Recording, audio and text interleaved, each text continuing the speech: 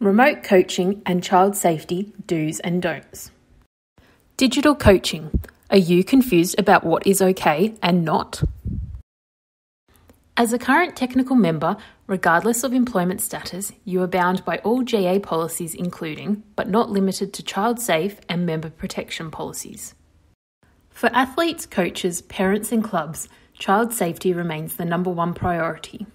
Remember your positive coaching techniques. Where interactions are open and transparent on social media or virtual platforms, these are generally accepted. However, private messaging between an adult and a child is considered the same as behind a closed doors discussion and is not acceptable. When communicating with any child in gymnastics in a virtual capacity, here are some do's and don'ts. Do. Always ensure a parent and or other personnel are copied into the correspondence. Don't. Never communicate privately with a child on social media. Do.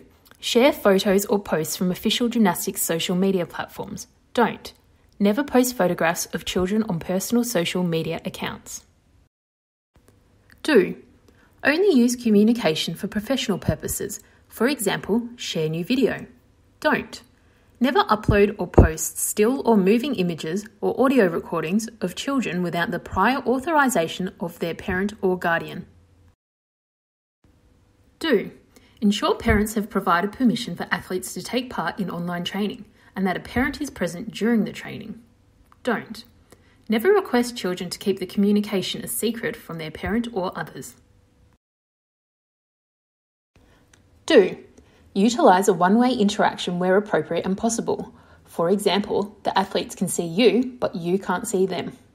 Don't. Never use inappropriate language when communicating with a child.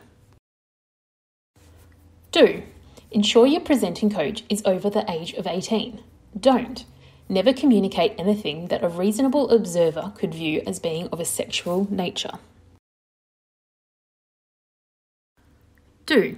Check the GA and State Association website for more clarification and information.